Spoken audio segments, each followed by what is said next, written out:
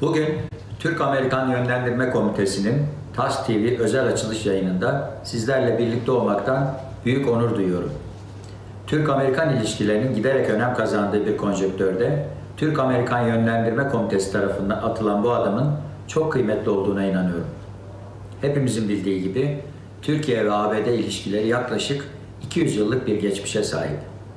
Modern Cumhuriyet'in kurulması ile birlikte iki ülke arasındaki stratejik ilişkiler NATO müttefikliği ile daha kurumsal bir hal kazanmış ve iki ülke ekonomik, ticari ve askeri konularda yakın bir işbirliği geliştirmiştir. Türkiye-ABD İş Konseyi TAİK olarak bu ilişkilerin yatırım ve ticari boyutunda gelinen noktayı çok önemsiyoruz. Bilindiği üzere 2019 yılında iki ülke ticaretlerinin 100 milyar dolar seviyesine çıkarılması hedefini benimsemişlerdir.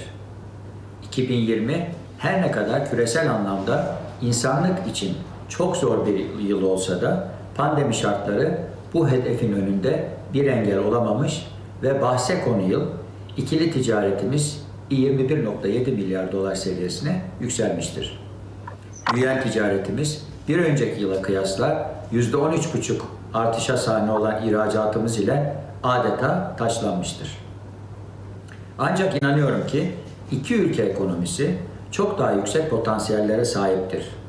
İkili ticarette 100 milyar dolar seviyesine giden yolda stratejik konularında belirleyici olduğu yatsınamaz bir gerçektir.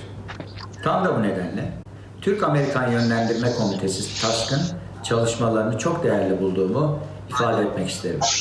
Nitekim Türk iş dünyası olarak iki ülke arasındaki ticaret ve yatırım ilişkilerinin arttırıl, artması için gösterdiğimiz çabanın ABD'deki, ABD'deki Türk kökenli insanlarımızın destekleri olmadan beyhude kalacağının farkındayız.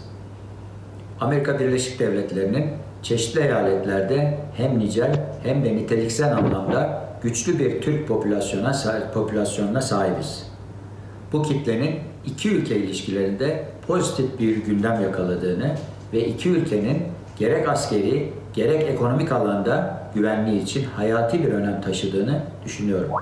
ABD'de yaşayan Türk vatandaşlarımızın temel aktörü olduğu diasporamızın birlik ve bütünlük kazanması açısından TAS TV'nin kesintisiz yayın hayatına geçeceği haberi büyük bir mem haberini büyük bir memnuniyetle karşıladım.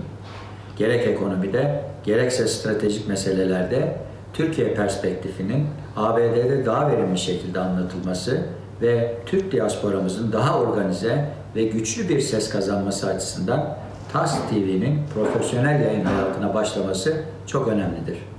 Bu sürece katkı sunan herkesi kutlar, TAS TV'nin iki ülke ilişkilerinde hayırlara vesile olmasını dilerim.